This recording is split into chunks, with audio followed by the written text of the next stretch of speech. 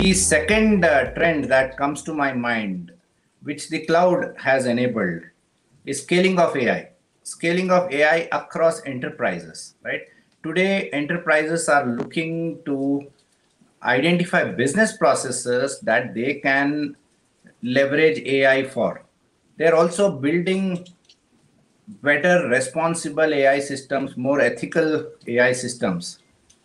In this kind of uh, uh, scenario, what do you see the rise of AI? How do you see the rise of AI impacting the industry? And also, what is the role that uh, you would uh, think the quality engineering organizations would play in validating some of these AI systems?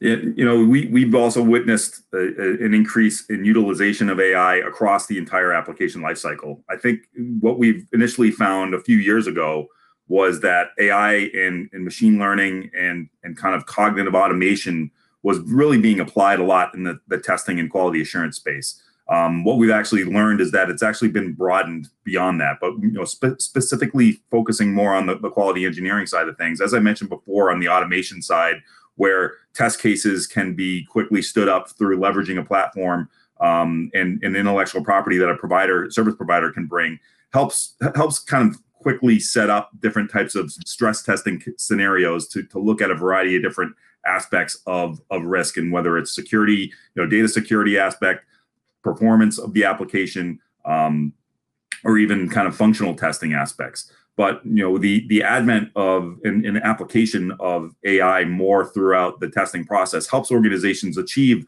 the the kind of the, the three pieces of kind of what you you might view as a competitive differentiation where it's better, faster, or more cost effective. Um, you know, leveraging AI helps organizations really speed up that delivery of of execution um, and also at the same point where machine learning is involved, it helps organizations be smarter in what they're going to test and how they're going to test certain certain aspects when code changes happen. Um, and if there's new new code and new functionality that's being developed, it's really trying to get a, a better picture of where that impact may lie, and then try to uh, a- address that so that the the the the unknowns are really covered as part of the, the next step of, of testing execution. So, you know, th- that's where we have seen more attention and utilization of AI and machine learning as part of the testing process. But it's just it's not limited to that. We've also seen it from the design aspect as well as requirements gathering, and also as something getting moved into a production environment to help ferret out where there could be potential defect issues and identifying those well before anything goes into pr- a production application. Fantastic. Uh, that validates our own perspective in how we can bring AI into the entire life cycle, uh, Pete. Thanks for those pointers, how you can employ AI to make it uh, faster, better, more cost effective, right? Control the risk.